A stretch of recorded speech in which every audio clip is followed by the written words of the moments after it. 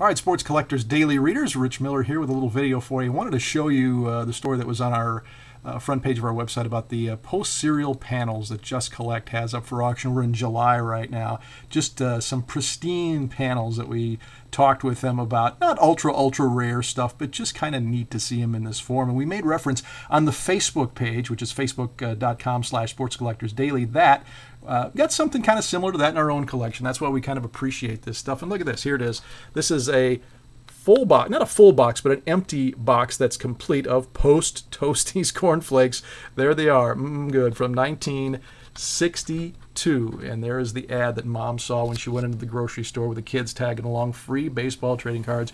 Who could resist that? Take a look at the side panel here. It's a little beat up and the top is missing, but who cares because it's intact. And look at the back here. There they are.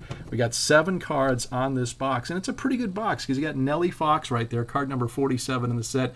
There's uh, Jake Wood, and up there Bobby Richardson, who was uh, having a huge uh, time of his career that back then in the early '60s. So just kind of uh, kind of neat there with that full uh, kind of look to it. You can kind of get a look at the packaging and what it was all like back then. But still, even cooler than that, I think, is this. Got this at a card show back in about 1986 an unopened box of jello pudding and pie filling. And there you see the ad on the front. It's lemon flavor. Mm, good. And yep, Jello still in there. You can't really hear it, but it's in there.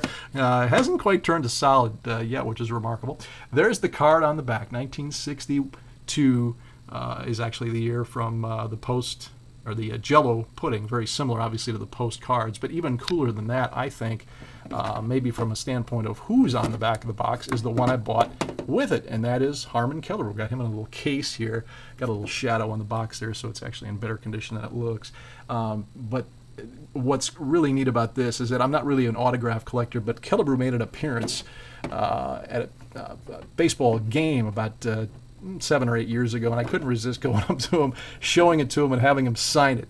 And he did. He got a real big kick out of it. So it's just one of those cool pieces that combines a lot of different things. Um, you got a really sort of a rare item. It's how many how many unopened boxes of Jello do you see sitting around?